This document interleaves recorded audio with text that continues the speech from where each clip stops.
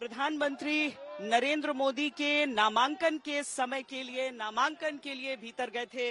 अब धीरे धीरे पैदल चलते हुए वो सब आगे की ओर आ रहे हैं। सब पैदल चलते हुए प्रधानमंत्री नरेंद्र मोदी तीसरी बार काशी से अपना नामांकन दाखिल करके बाहर की ओर आ रहे हैं। साथ में उत्तर प्रदेश के मुख्यमंत्री योगी आदित्यनाथ उनके इस समय नज़र आ रहे हैं। और उनके साथ साथ वो पूरा कारवा कहिए, वो पूरा काफिला कहिए, जो समूचे देश में उनके साथ के उनके जो सहयोगी हैं, उनके गठबंधन पार्टनर हैं, जो सब एक साथ मिलकर इस बार के चुनाव में 400 पार का नारा दिए हुए हैं कि 370 पार बीजेपी और 400 पार पूरा का पूरा जो एनडीए गठबंधन है। प्रधानमंत्री के साथ साथ आप गृह मंत्री अमित शाह को भी इस समय फ्रेम में देख सकते हैं, उनके गठबंधन पार्टनर्स को भी देख सकते हैं और सब धीरे धीरे आगे की ओर निकल कर आ रहे हैं। प्रधानमंत्री नामांकन करके जब निकलते हैं तो गृह मंत्री अमित शाह, पार्टी अध्यक्ष जेपी नड्डा रक्षा मंत्री राजनाथ सिंह, उत्तर प्रदेश के मुख्यमंत्री योगी आदित्यनाथ, महाराष्ट्र के सीएम एकनाथ शिंदे, चिराग पासवान, जयंत चौधरी, पशुपति पारस, पवन कल्याण, प्रफुल्ल पटेल, अनुप्रिया पटेल, उपेंद्र कुशवाहा, रामदास अठावले से लेकर हरदीप पुरी तक, ओम प्रकाश, राजभर से लेकर जीतन राम मांझी तक, चंद्रबाबू नायडू से अंबुमणि रामदास तक। बीजेपी के तमाम दिग्गज नेताओं के साथ एनडीए के गठबंधन वाले नेता दिखते हैं। काशी में मोदी के नामांकन में गठबंधन का ये जुटान इस बात का संदेश है कि एक तरफ़ नरेंद्र मोदी हैं, जिनके नेतृत्व पर गठबंधन को भरोसा है और उस भरोसे की ताकत काशी से देश को दिखाई जाती है। दूसरी तरफ़ राहुल गांधी हैं, जिनके रायबरेली में नामांकन के दौरान माँ सोनिया गांधी बहन प्रियंका जीजा रॉबर्ट वाड्रा पार्टी अध्यक्ष मल्लिकार्जुन खड़गे ही प्रमुखता से दिखते हैं, यानी ज़्यादातर परिवार। तो क्या परिवार के सामने सबको साथ लेकर चलते हुए दिखाना ही नरेंद्र मोदी के 400 पार वाले भरोसे की दूसरी वजह है? निश्चित रूप से भारतीय जनता पार्टी और एनडीए मिलकर हम 400 पार के लक्ष्य को पार करने जा रहे हैं। मैंने पहले भी बताया कि हम 190 के पार हो चुके हैं। और इस चरण में सबसे ज़्यादा फ़ायदा एनडीए को होने वाला है। माहौल तो आप देख रहे हैं। ये लोगों में क्या उत्साह है, क्या जोश है जल्लोश है। और मोदी जी के प्रति जितना सम्मान दिख रहा है, आदर दिख रहा है, इससे साफ़ है कि 2014 2019 का सब रिकॉर्ड टूटेगा। मोदी जी फिर से प्रधानमंत्री बनेंगे। 400 पार का नारा है वो भी पूरा हो जाएगा। हम लोग एक तरह से भगवान से प्रार्थना करते हैं कि उनकी ये बात की अब की बात 400 पार पूरी हो। राष्ट्रीय राजनीति में दल छोटे हो या बड़े उनके साथ गठबंधन कितना ज़रूरी है? इस बात को लगातार दो चुनाव से बहुमत अपने दम पर लाते हुए भी नरेंद्र मोदी और बीजेपी अच्छे से समझते हैं। कैसे इस आंकड़े को पहले देखिए? उन्नीस से 2019 तक के छह चुनाव का औसत कहता है। हर लोकसभा इलेक्शन में अगर औसत 117 सीट कांग्रेस जीतती है तो छह चुनाव में औसत 201 सीट बीजेपी के पास आती है। तो औसत 225 सीट अन्य दलों को जाती है। यानी गैर बीजेपी, गैर कांग्रेस दलों का पिछले छह चुनाव में जीत का औसत 42 फ़ीसदी सीट पर रहा है। इसीलिए दक्षिण से लेकर उत्तर और पूर्व तक के गठबंधन के साथियों को एक साथ काशी में नामांकन के दौरान बीजेपी लाती है। जिसमें इस बार बिहार में एक भी सीट न पाने वाली नाराज़ हुए पहले चाचा पशुपति पारस भी आते हैं और जमकर सीट गठबंधन में पाने वाले भतीजे चिराग भी।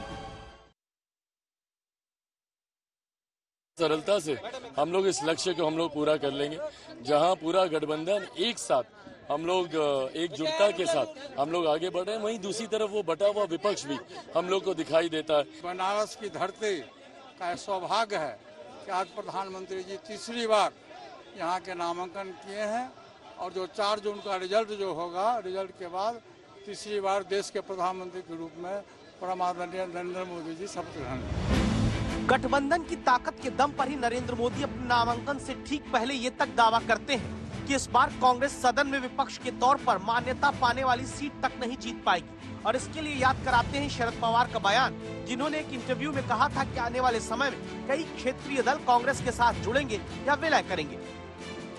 उनका बयान आया बारामती के चुनाव के बाद। और शरद पवार का बयान है तो मतलब उसमें कोई न कोई महत्व है।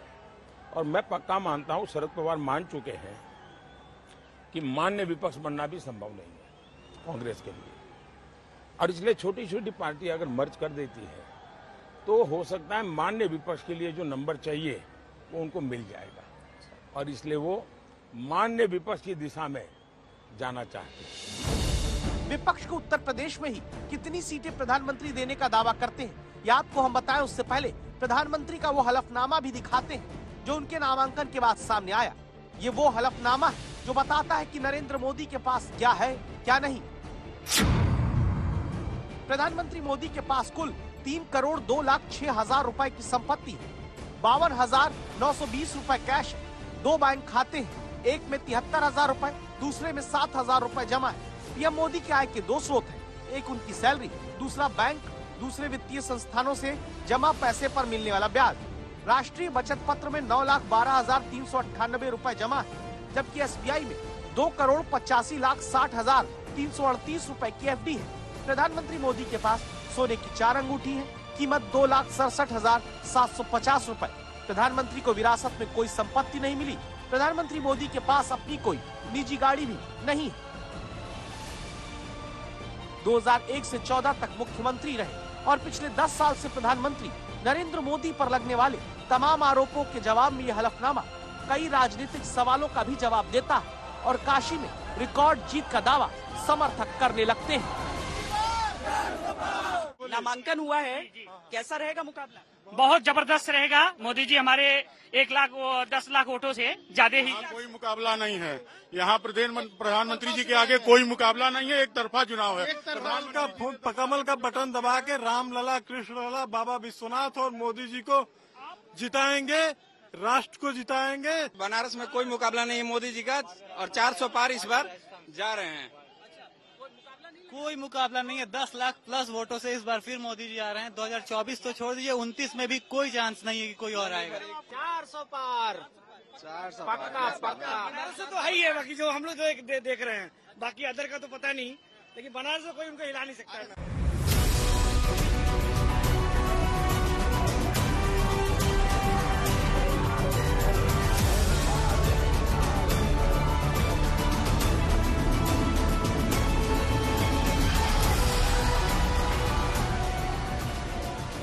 नरेंद्र मोदी के लिए ये काशी का समर्थन है, जो नामांकन के पहले से लेकर नामांकन के बाद तक नज़र आता है। और तब इसी काशी से अगर आगे के तीन चरणों का आकलन करके पीएम मोदी 400 पार की गारंटी देते हैं तो क्या इसकी वजह भी काशी है? जहाँ से 400 पार के लिए ज़रूरी मिशन बासठ को साधते प्रधानमंत्री दिखते हैं। इसे ऐसे समझिए कि यूपी में 80 में से उनतालीस सीटों पर मतदान हो चुका है। इकतालीस सीट पर अगले तीन चरण में वोटिंग है। और यूपी की बची इकतालीस में से 26 सीटें पूर्वांचल की हैं, यानी काशी से जुड़ी हुई। और बिहार में 40 में से 21 सीट पर मतदान होना बाकी है। बिहार की बची हुई ज़्यादातर सीटों की सीमा यूपी के करीब है। और काशी में पीएम मोदी ने शक्ति प्रदर्शन करके यूपी और बिहार की बासठ सीटों को साध लिया है। पिछले दस वर्ष के अंदर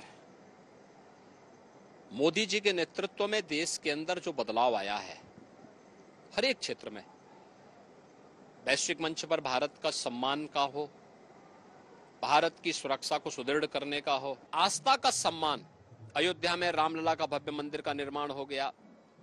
ऐसे ही देश के अंदर अलग अलग स्थानों पर इस प्रकार के गौरव की जो स्थापना हुई, आज उसको ध्यान में रख करके जनता जनार्दन के मन में अपार उत्साह है और वे लोग सभी संकल्पित हैं फिर एक बार मोदी सरकार के लिए मोदी जी के नेतृत्व में तीसरी बार भारतीय जनता पार्टी की सरकार बनेगी। कोई संदेह नहीं होना चाहिए। यूपी में योगी आदित्यनाथ की तारीफ़ करते हुए प्रधानमंत्री ये दावा करते हैं कि इस बार यूपी 2014 से भी बड़ी जीत बीजेपी को देने जा रही है। उत्तर प्रदेश तो खैर हमें भरपूर आशीर्वाद देगा ही देगा। कोई कमी नहीं रहने देगा। कांग्रेस का खाता भी नहीं खुलेगा। रायबरेली, जहाँ से नेहरू गांधी परिवार के सात सदस्यों ने चुनाव लड़ा, उसी रायबरेली में वोट मांगने राहुल गांधी अब पर्चा भरने के बाद पहुँचे। पहले इंदिरा गांधी की रायबरेली याद करा के राहुल गांधी रिश्ता जनता को रायबरेली से समझाते मैंने माँ से कहा, माँ माँ वो होती है जो रास्ता दिखाती है और जो रक्षा करती है। आपने मुझे रास्ता दिखाया, आपने मेरी रक्षा की, मगर इंदिरा गांधी जी ने भी मुझे रास्ता दिखाया मेरी रक्षा की। तो अब मैं आपसे ये क्यों कह रहा हूँ? क्योंकि मेरी दोनों माताओं की ये कर्म भूमि है। और इसीलिए मैं यहाँ रायबरेली से चुनाव लड़ने आया हूँ। भाई और बहनों, रायबरेली में 20 बार चुनाव हुए 17 बार कांग्रेस जीती। लेकिन एक बार अमेठी हार चुके राहुल के लिए अब रायबरेली में ताकत से प्रचार की कमान प्रियंका गांधी ने संभाल रखी है। ये जो मेरी बहन है इसका मैं दिल से धन्यवाद करता हूँ कि जब मैं देश में कैंपेनिंग कर रहा हूँ चुनाव लड़ रहा हूँ तो ये यहाँ मेरे लिए मेरी मदद के लिए यहाँ अपना खून पसीना पूरा आपको दे रही है। प्रचार प्रियंका ने संभाला लेकिन रायबरेली में जीत इतनी भी आसान नहीं जिसे दादी और माँ की कर्मभूमि राहुल कहते हैं।